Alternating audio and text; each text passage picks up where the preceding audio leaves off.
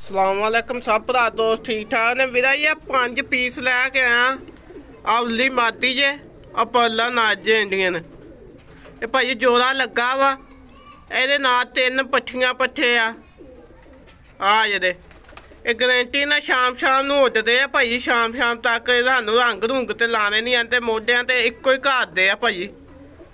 ਨਾ ਮੈਂ ਕਦੀ ਮੋਢਿਆਂ ਤੇ ਰੰਗ ਲਾ ਕੇ ਕਿਹਾ ਹੀ ਆ ਕਿ ਇੱਕੋ ਘਰ ਦੇ ਆ। ਇਹ ਸ਼ਾਹ ਬੰਦਾ ਸੀ, ਉਹਦੇ ਕੋਲੋਂ ਲੈ ਸੈਯਦ ਇਹ ਜੇ ਇਸ ਭਰਾ ਨੂੰ ਚਾਹੀਦੇ ਹੋਣ 0342 290 2637 ਇਸ ਨੰਬਰ ਤੇ ਰਾਬਤਾ ਕਰ ਸਕਦਾ। ਲੋਕੇਸ਼ਨ ਫੈਸਲਾਬਾਦ YouTube ਤੇ ਚੈਨਲ ਬਣਿਆ ਬਾਸ ਡੋਗਰ ਪਿਜਨ ਜਿਹੜਾ ਜਿਹੜਾ ਭਰਾ ਦੇਖੇ, ਮੇਰਾ ਚੈਨਲ ਸਬਸਕ੍ਰਾਈਬ ਕਰੀ ਜਾਏ, ਮਿਹਰਬਾਨੀ। ਆ ਵੀਰਾ ਜੀ ਸ਼ੌਂਕ ਕਰ ਸਕਦੇ ਇਹਨਾਂ ਦੀਆਂ ਅੱਖਾਂ ਦਾ। ਆ ਉੱਲੀ ਮਾਦੀ ਜੇ, ਪਰਲਾ ਨਾਜ ਜੇ ਆ ਤਿੰਨੇ ਹੀ ਇਹਨਾਂ ਦੇ ਬੱਚੇ ਜੇ ਨਾਲ, ਪੱਠੀਆਂ ਪੱਠੇ ਬਣੇ। ਤੋ ਆ ਜੇ, ਤੇ ਭਾਜੀ ਇੱਕ ਹੋ ਜੇ ਇਸ ਭਰਾ ਨੂੰ ਚਾਹੀਦੇ ਹੋ 0342 290 2637 ਇਸ ਨੰਬਰ ਤੇ ਰਾਬਤਾ ਕਰ ਸਕਦਾ।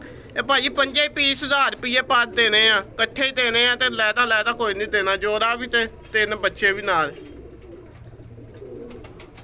ਪੰਜੇ ਪੀਸ ਭਾਜੀ 5000 ਰੁਪਏ ਦੇ ਦੇਣੇ ਆ। ਆ ਨਾ ਜੇ ਭਾਜੀ। ਆ ਜਿਹੜਾ ਉਹ ਕੱਟੀ ਹੋਈ ਮਾਦੀ ਜੇ।